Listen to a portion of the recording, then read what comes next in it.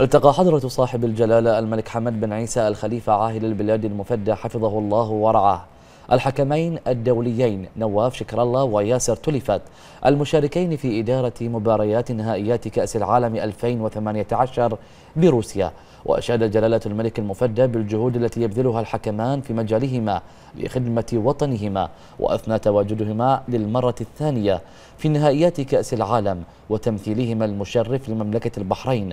مؤكدا دعمه وإسناده لهما في هذا التمثيل الذي يرفع اسم المملكة عاليا في أكبر المحافل الكروية العالمية.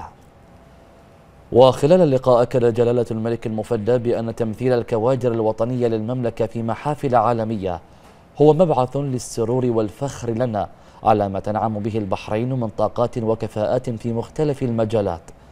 مؤكدا على ثقته بأن الكفاءات البحرينية قادرة على إبراز اسم المملكة في أي مجال متى ما تواجدت فيه. كما أثنى جلالته على الجهود الحثيثة التي تبذلها الجهات المعنية والتي مكنت الحكمين من مواصلة التميز في مجال التحكيم واختيارهما للمرة الثانية على التوالي في نهائيات كأس العالم ما يؤكد متانة التحكيم البحريني ومواصلة الإرث التاريخي الذي تميز به منذ عدة سنوات. كما عبر جلالته عن تمنياته بالتوفيق للحكمين شكر الله وتلفت في هذه المهمة العالمية ومواصلة العمل على إبراز التحكيم البحريني.